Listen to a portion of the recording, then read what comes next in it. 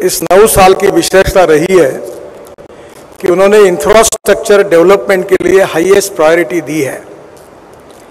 गति शक्ति योजना के द्वारा अलग अलग इंफ्रास्ट्रक्चर के प्रोजेक्ट्स में प्लानिंग से लेकर इम्प्लीमेंटेशन तक एक कॉपरेशन कोऑर्डिनेशन एंड कम्युनिकेशन भी प्रस्तापित हुआ है।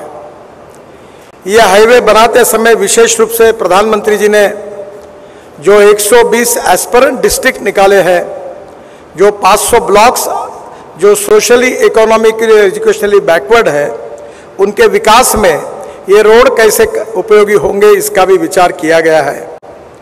मुझे बहुत खुशी है कि तेलंगाना में अभी तक एक लाख दस हज़ार करोड़ के प्रोजेक्ट कुछ कंप्लीट हुए, कुछ ऑन गोइंग है, कुछ शुरू हुए हैं।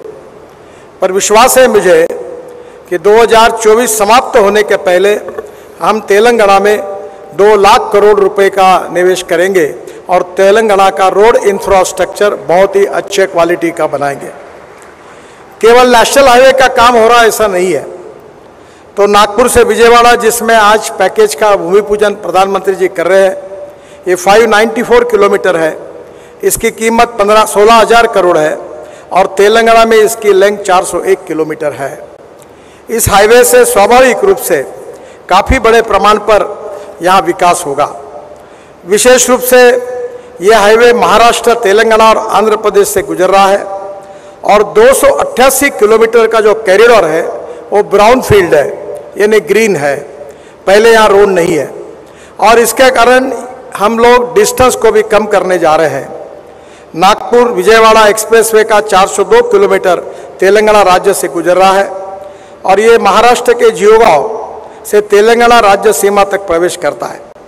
तेलंगाना राज्य में असीफाबाद मंचेरियल पेदप्पल्ले जयशंकर भूपालपल्ली हनुमाकोंडा वारंगल खम्मम इस ज़िले से गुजरता है और विजयवाड़ा के पास मिलता है।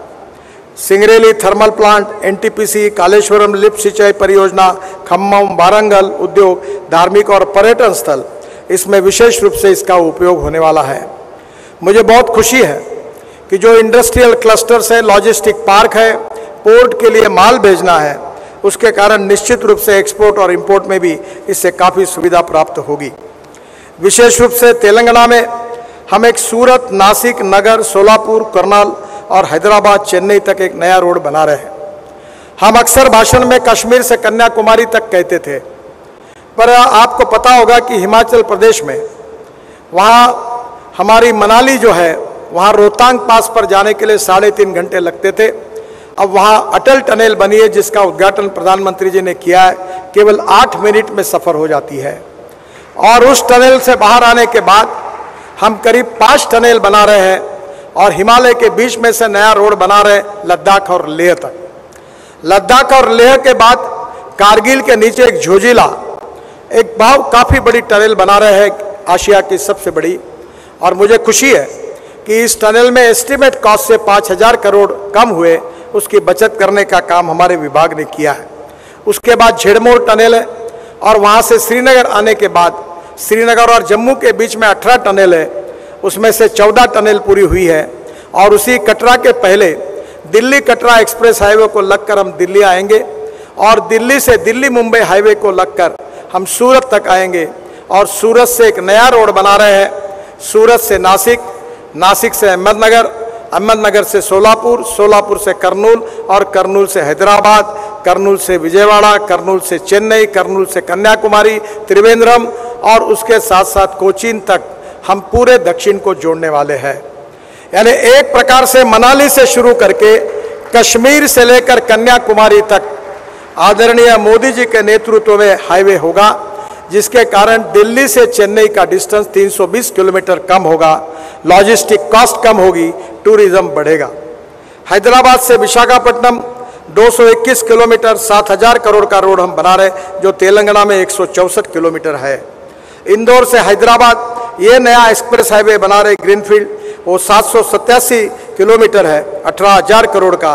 और उसके साथ साथ हैदराबाद, रायपुर, ये 325 किलोमीटर 14000 करोड़ का है। मुझे खुशी है कि ये पूरे हाईवे करीब एक लाख करोड़ के है इसकी लेंथ आठ किलोमीटर है और तेलंगाना में इसकी कॉस्ट तीस हज़ार करोड़ है। मुझे विश्वास है कि हाईवे नेटवर्क खड़ा होने से उद्योग व्यापार को बढ़त मिलेगी। मैं अक्सर American president John of Kennedy ji के प्रसिद्ध वाक्य को दोहराते रहता हूँ। उन्होंने कहा था कि American roads are not good because America is rich, but America is rich because American roads are good. और मुझे खुशी है कि प्रधानमंत्री जी के नेतृत्व में जो रोड इंफ्रास्ट्रक्चर डेवलप होगा, वो यहाँ के माइनिंग इंडस्ट्री को ट्रेड बिज़नेस को एक्सपोर्ट इंपोर्ट को, और विशेष रूप से जो डेवलपमेंट की छोटी छोटी सेंटर्स है उनको जोड़कर हम निश्चित रूप से रोज़गार का निर्माण करेंगे। इंडस्ट्री में कैपिटल इन्वेस्टमेंट आएगा, जवान लोगों को रोज़गार मिलेगा, और जो मोदी जी का सपना है कि आत्मनिर्भर भारत बनाना फाइव ट्रिलियन डॉलर की इकोनॉमी बनाना ये निश्चित रूप से ये सपना अमृत काल में पूरा होगा। मुझे बहुत खुशी है कि प्रधानमंत्री जी ने यही हमें बताया है कि सबका साथ, सबका विकास और सबका प्रयास। सबके प्रयासों से इस देश को निर्माण करना है। हमने सभी राज्यों के साथ न्याय करते हुए देश के इंफ्रास्ट्रक्चर को इंटरनेशनल स्टैंडर्ड का डेवलप करने की कोशिश की है और उसी से देश के विकास में चार चाँद तो लगेंगे ही। पर हमारा रोड इंफ्रास्ट्रक्चर धीरे धीरे वर्ल्ड स्टैंडर्ड का बनेगा। मुझे बहुत खुशी है कि प्रधानमंत्री जी आज इस कार्यक्रम के लिए आए हैं। मैं अपने विभाग की ओर से उनका अभिनंदन करते हुए उनको बहुत बहुत शुभकामनाएँ देता हूँ। ऐसे और नौ पैकेजेस हैं जो नागपुर से विजयवाड़ा तक जाने वाले हैं।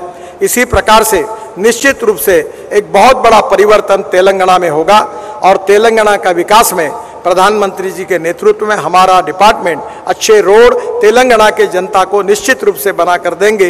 इसी विश्वास के साथ मैं अपनी बात को समाप्त करता हूँ। धन्यवाद। नमस्कार।